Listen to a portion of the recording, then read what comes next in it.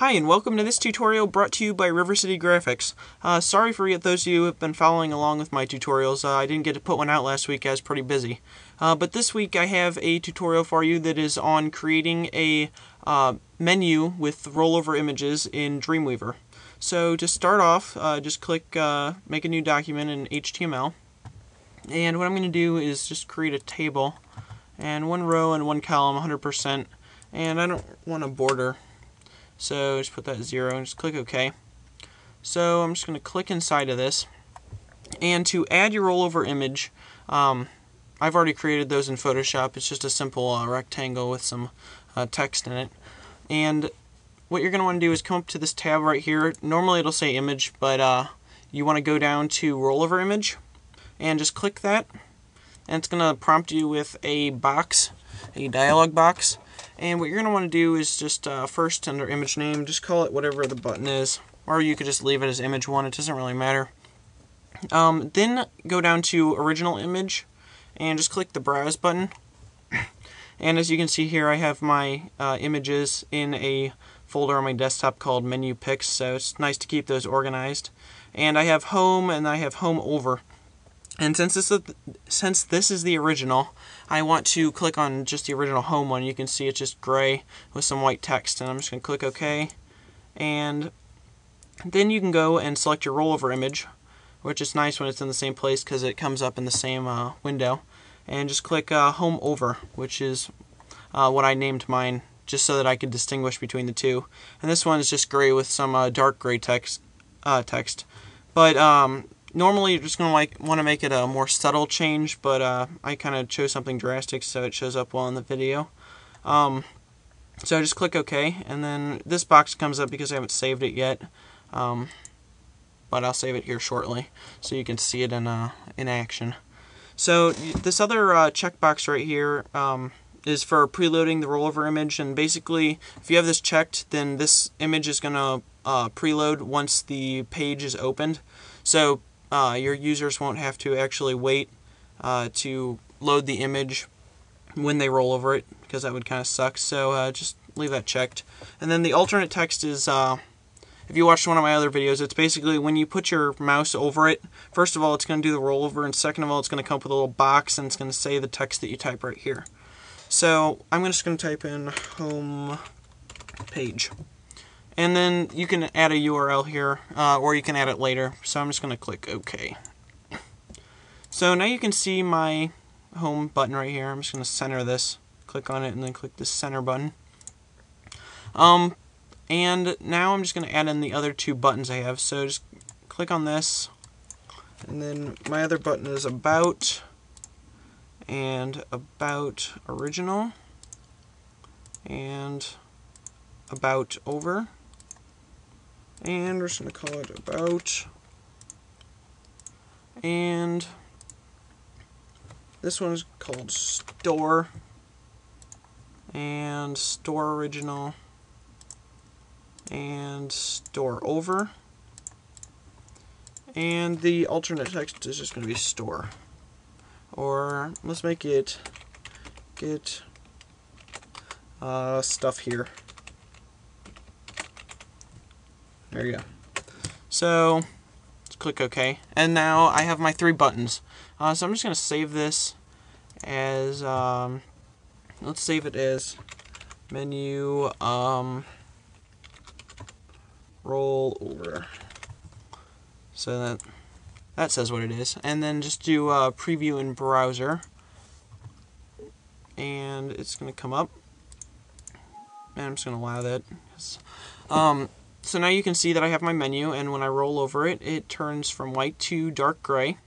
And when I hold my mouse over it, the little uh, alternate text comes up. So I got home page and then about and then get stuff here.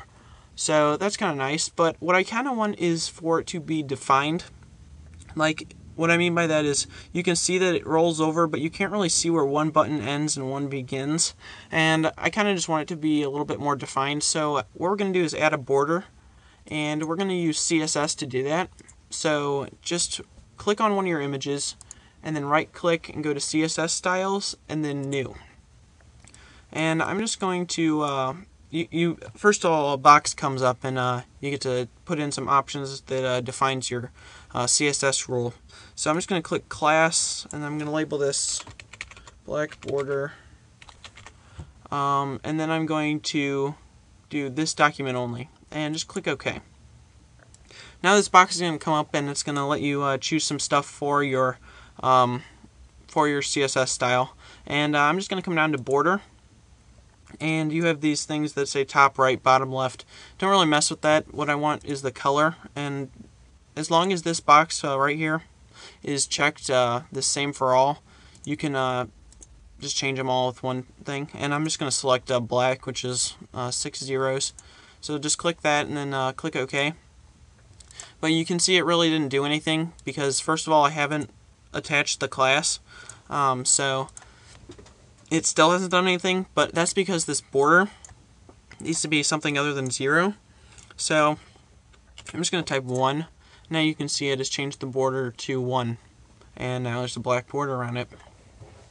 Um, so you're probably wondering why I didn't just make the border 1 in the first place.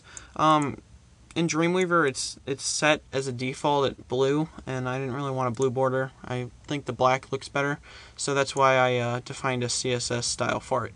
Um, so now once you have that style made, it's really easy to apply to the other ones. So you just click on your other buttons, and then do class, and then black border, and then set the border to 1. And as you can see, it has added that. So I'm going to set the border to 1 and do black border. And now it is more defined. I'm going to save it and then preview it in the browser. And just allow that. And now you can see that they're a little more defined. Um, you can tell where each one starts and where each one ends. So uh, it's a little bit nicer. Um, so that's pretty much uh, all I have for you guys on the simple menu. Um, oh wait, except there's one more thing you can actually do. Uh, if you want to link your buttons, uh, what you're going to want to do is since each one of these is like it's two images made into one, so uh, it makes it really easy to add a link. You just go down to here uh, where it says link, and you can actually link it to another page. Like uh, if I was linking this home page uh, on an actual website, I would either drag this this little arrow thing over to one of these files, or I would just click on this border uh, or this uh, this little folder thing and open up my my file and it would link it there. Um, so it would be like index.html would be the link for that one or about.html for that one. And you can find it with this little folder here. Uh, but say you wanted to link it to a uh, website. Um, like I said in one of my previous tutorials you have to have the http colon forward slash forward slash and then put in the uh, the URL or else it will not actually work it'll try and find it on your site um, and not actually uh, on the web. So I just typed in my uh, YouTube channel there. So now if we save it, first I have to click on something else because it's weird like that. Um, so just click Preview in Browser and Internet Explorer. Uh, window comes up and just allow that again. Um, and when I click About Page, which is what I set for uh, for my YouTube page, it'll come up and comes up in its own uh, window, so that's nice. My users won't be directed off of the website if this was actually a website. And you can see my YouTube page right here. So, so that's how you uh, link it to another uh, another website. And there you go. So that's how you create a simple uh, menu with uh, rollover images in Dreamweaver. Uh, so what I want you guys to do is uh, make sure you subscribe, rate, and comment because I'll have a video out uh, every week. And uh, I'll see you next week. Thanks.